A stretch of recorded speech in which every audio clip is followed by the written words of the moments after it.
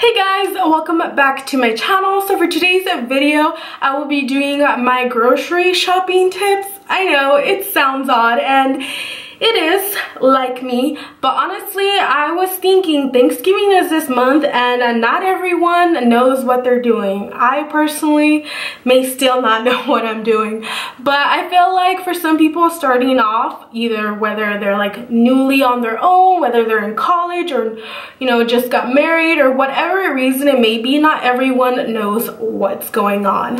Um, and I by no means feel like I'm perfect or anything, but I feel like I got a good little system going and in the long run it helps everything not be stressful and kind of make sure you know make it look like I know what I'm doing got it all under control. But anyways hopefully this helps you guys and yeah let's just jump right into it. Okay guys, so I like to start off by putting a headset in and just listen to music, block the world out, and get my ass coffee on because it was pretty early in the morning, I can say, when I was making my list. So I already started off with this paper in front of me. I just put meals for a week, but if you do like every two weeks or monthly, you know, whichever works for you, you do that. So I just like write Saturday, Sunday, Monday, Tuesday, Wednesday, Thursday, Friday. And then one, two, and three is for like breakfast, lunch, and dinner. And then once you got that set, then just start writing your meals.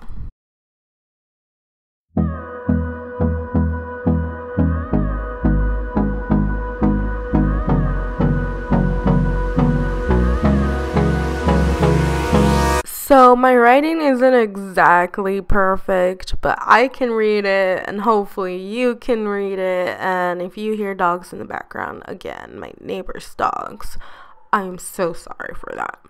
But um so this is pretty much the meals for the week. And then I know not everyone eats like that, so I'm gonna just write this example meal. Um, and excuse my voice, I think I'm getting sick. So yeah. Um, but so I put breakfast burrito and then it cut off. So um, I put breakfast burrito, sandwich, and hamburgers because all of those things seem a little bit more complex than just like oatmeal and cereal, which is pretty much what I have for breakfast, except for the weekends. Um, pretty simple. Um, so next thing I do on the separate piece of paper um, is I put breakfast and then under that I go back and forth to my meals and I'm like okay so I'm eating eggs bacon and sausage on the weekends so I need eggs I need bacon and I need sausage. And then during the week, I eat like cereal and oatmeal, fruit. So I need my cereal, I need milk, oatmeal, and fruit. So then that would be all my items that I need for my breakfast. So it's really simple. You write down everything you need for it, and then you repeat the same process for lunch and dinner.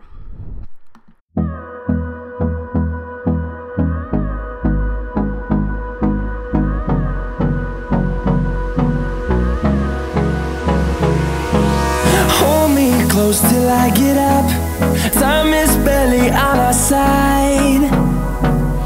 I don't wanna waste what's left. The storms we chase are leading us And love all trust Yeah, no I Okay, so initially that would be my grocery list right there, but I'm gonna do the example um, up here.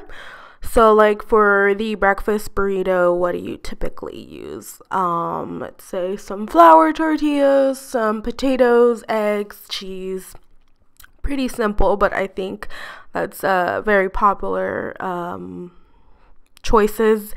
And then for sandwich, again, um, it's just the things that I put down in the lunch area, so I won't rewrite that. But like for hamburgers, you need burger buns, some like ground beef, ketchup, tomato, lettuce, mustard, whatever you like in your burger initially. But that's pretty much what you do. And again, like this part right here, so it's technically like these two steps. You write what you want to eat and then you write the ingredients, therefore, you're making your grocery list. So you could stop there and be like, okay, I got my grocery list and, you know, head out the door and go shopping for it or whatever. But I like to take this one extra step so I spend even less time at the grocery store. Um, so I know pretty much where everything is in my grocery store, you know, when I go in, where what is. So what I like to do is since I go aisle through aisle, not every single aisle, but I like to start off like at the right and then work my way left since the um registers are on the left. So like I know when I go in, you know, the first is like the fruit and the produce and then it kind of ends up being to the like canned items like the meats and then so on and so on. So on this extra step i'm looking at what i already wrote down and I'm like, okay, so I'm putting the fruit, putting the veggies, the meat, and I'm pretty much putting it in order. So whichever way um, that I'm walking in my store, I'm pretty much just grabbing and going. Like it's it's literally on the list, it's in front of me, and then I'm walking on the list in front of me, so on and so on. So I know this step is so not necessary, but again, it actually does save time and then also, you don't have to go through extra aisles or go back and forth, so I really like it. Okay guys, so that is the video. Hopefully it helps even just one of you. I know it seems kind of like a lot, but it's really not and it helps a lot.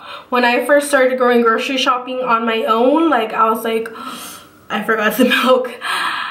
I forgot the sandwich, um, I mean the bread. I would forget so many things and nothing would be right. Like I would go shopping for like two weeks and I'll end up having food for like four days. How? What? I don't know. But you know, I feel like with this way, everything is just like okay, I don't really have to stress about it. So hopefully, like I said, it helps one of you guys out.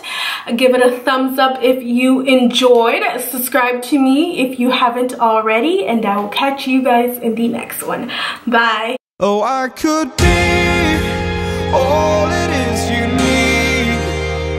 Cause we are trying to find a way to feel